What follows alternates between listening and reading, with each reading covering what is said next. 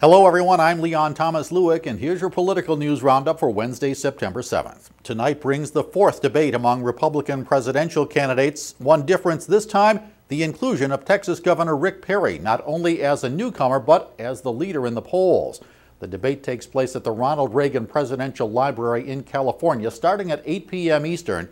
This is the debate that led Republican House Speaker John Boehner to deny President Obama a chance to address the country and a joint session of Congress tonight.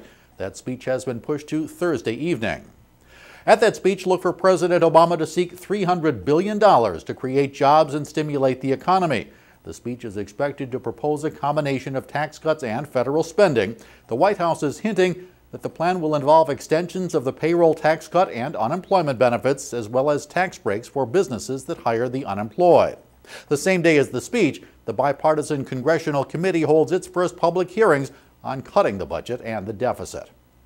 Well, don't expect the Consumer Financial Protection Bureau to be fully functional anytime soon. That's because it won't have a leader anytime soon. President Obama's nominee to head the new agency, Richard Cordray, was told by Republicans he would likely not win confirmation in the Senate. Republicans say the director's position holds too much power over the banking community. They say they won't approve the appointment until that matter gets resolved.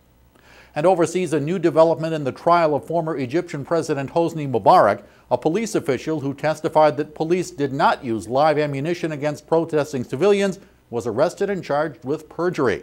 It's the latest in a trial that has seen several prosecution witnesses recant earlier statements that they were under orders to use live ammunition in the revolt that brought down Mubarak's rule last winter.